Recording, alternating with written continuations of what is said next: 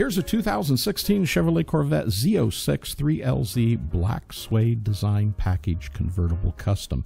Boy, that's a lot to have in a title, and there is a lot to see about this car. This is an absolutely beautiful Corvette. It's black on the exterior, has a jet black interior, jet black convertible top, and under the hood, 650 horsepower supercharged LT4 engine with 8 speed automatic paddle shift transmission.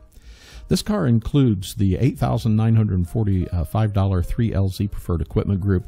Uh, most of you already know this, but we will tell you it has the Bose 10 speaker AM, FM, XM, MP3 stereo with steering wheel controls, auto dimming mirrors, heated and vented seats, dual power seat bolster and lumbar. It has uh, advanced theft deterrent universal garage door transmitter and memory package. It has the front camera as well and also the performance data recorder with navigation.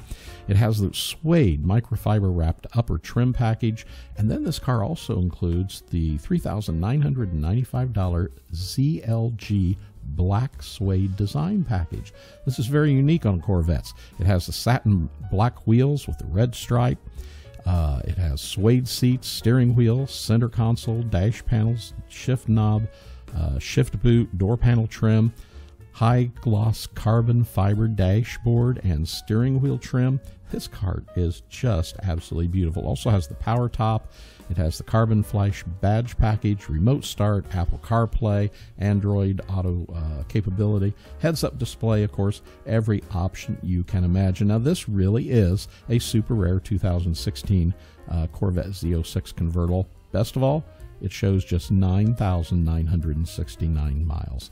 Beautiful car, under 10,000 miles, and it could be yours today.